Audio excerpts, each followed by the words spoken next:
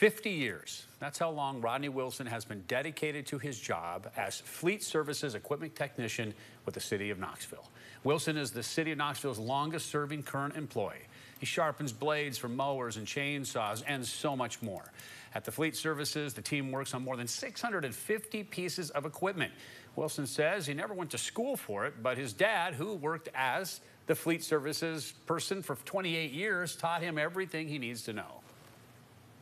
Ain't no job 100% perfect, but my, I'd say mine's 99%. I mean, and you can't find a job like that no more. I work here and then I go home and I try to do, you know, work on the side sometimes. So every now and then, you know, if I feel like it, I try to help people out with lawnmowers and weed eaters or whatever. If a friend of mine's got a weed eater, you know, and it needs fixed, well, he'll bring it to me.